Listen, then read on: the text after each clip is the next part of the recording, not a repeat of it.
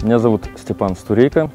Я преподаватель э, предметов, связанных с теорией культурного наследия, с историей развития идей э, культ, мышления о культурном наследии. И мне кажется, что мы со студентами учимся проникать в суть происходящего вокруг наследия, в суть произносимого, а, в докапываться до оснований наследия.